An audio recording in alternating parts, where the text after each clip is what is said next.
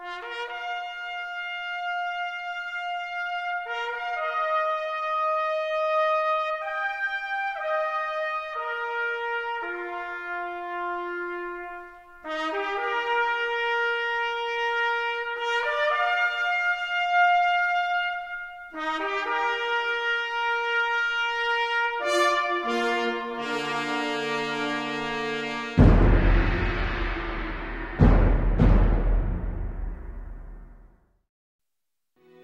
I grew up in uh, Milwaukee, Wisconsin.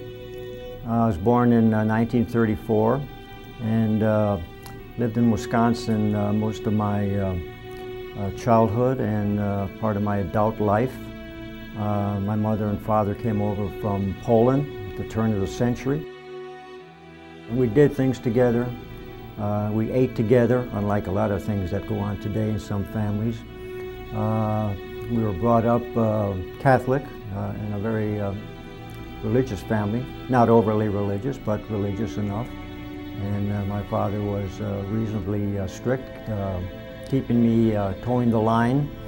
And so he's really my, my hero as well as my mother, who uh, in those days, kind of, uh, mother brought up most of the families anyway, uh, as far as the children were concerned, so they did a good job. Robert Modrzejewski attended the University of Wisconsin, where he was a member of the Marine Corps Platoon Leaders class. Upon graduation in 1957, he was commissioned a second lieutenant. By 1966, he was in Vietnam, serving as commanding officer in the 3rd Battalion of the 4th Marines. In June of that year, he was to take part in Operation Hastings, an action that aimed to stop the North Vietnamese from infiltrating into the South through the demilitarized zone and Laos. The operation started out as a helicopter assault, and then my company uh, had initially four helicopters in the initial attack. So when we got to the landing zone, we started to take some small arms fire. So because the helicopter landing zone was too uh, small to accommodate the four helicopters, two of them got too close together and crashed and uh, started to burn and, uh, and some of the Marines who were trying to get out of the helicopter were killed. So it wasn't a very auspicious beginning. But once uh, my unit landed, then we started to take off for our objective, which was about, oh, I guess 1,500 meters away from where we landed and that was to be our blocking position. Shortly after landing, the company encountered a well-entrenched enemy force. Modrzejewski led his men in a successful routing of the enemy and the seizure of a large quantity of ammunition and supplies.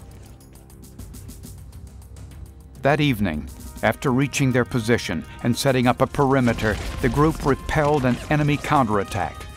This marked the beginning of a battle that would continue over the next four days and three nights.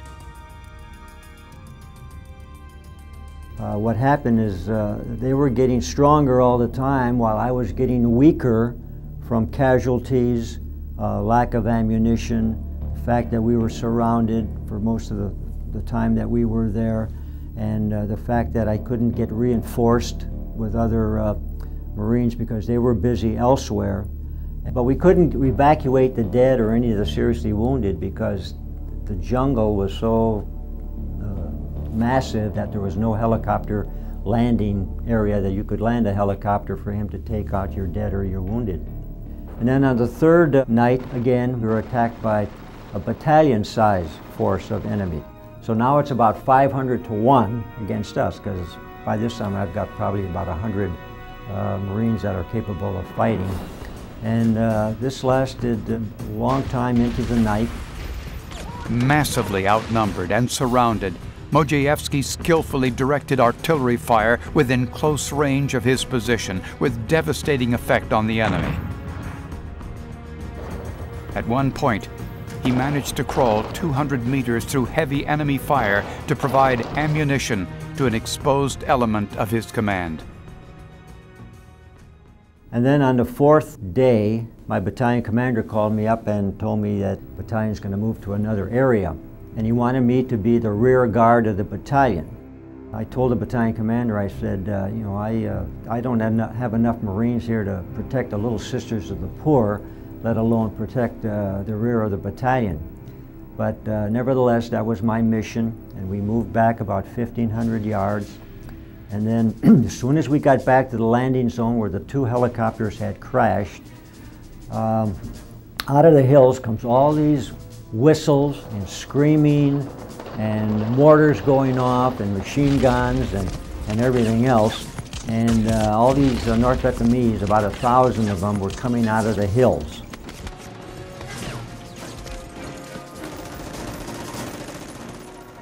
The only way we were able to survive was we called in uh, airstrikes very close to our position that dropped napalm right in front of us. Uh, in fact, uh, we had some of the Marines uh, get singed because the napalm was so close.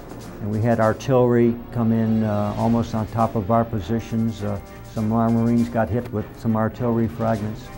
And uh, again, it came down to not quite hand-to-hand -hand combat, but very, very close. This went on for about four hours, and finally, for some unknown reason, the North Vietnamese uh, just kind of picked up and went back into the hills.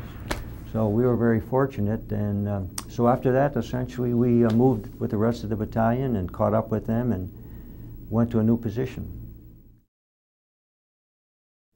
I learned about receiving the Congressional Medal of Honor when I was stationed at Annapolis at the uh, Naval Academy in Maryland. I was the commanding officer of the Marine Barracks, and uh, one day my, uh, command, my commanding officer, who was a Navy captain of the naval station, informed me that uh, I was going to get the, uh, the Medal of Honor. I never looked at it as, as something that belonged to me personally.